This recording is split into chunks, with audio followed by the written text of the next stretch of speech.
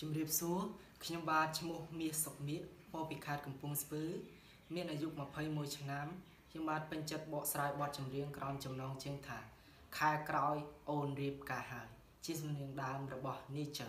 បាទសូមរីស្ដាប់ដូចតទៅ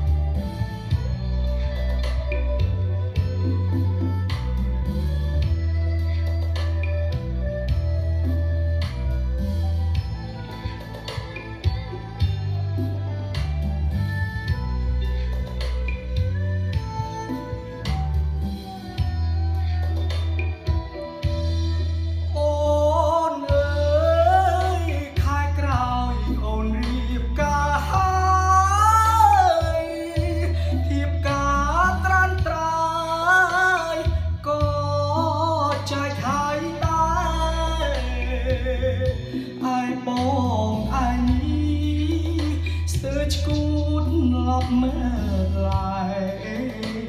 មនុស្សដែលខ្ញុំស្នេហ៍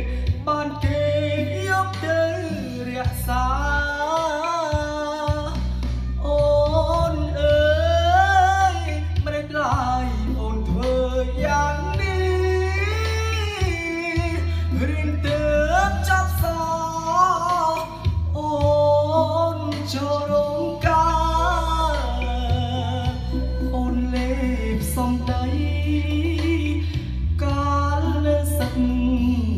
សាថាចាំរៀមរារកលុយមកដល់ដឹងអូនប្រាក់ខែបងខំសន្សំមិនហ៊ានចាសុខចិត្តដាច់បាយសុខចិត្តលំបា